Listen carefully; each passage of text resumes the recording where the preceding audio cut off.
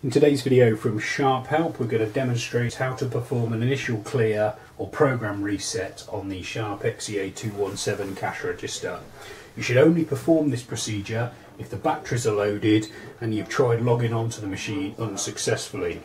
So the first thing to do is disconnect the machine from the power. Once you've done that you need to hold down the zero button and the receipt button. Then, when you connect the machine back to the power, the reset's performed and you have all the modes available in the normal mode position. For more information on using the XEA217 and other Sharp cash registers, please visit sharphelp.co.uk. Thanks for watching.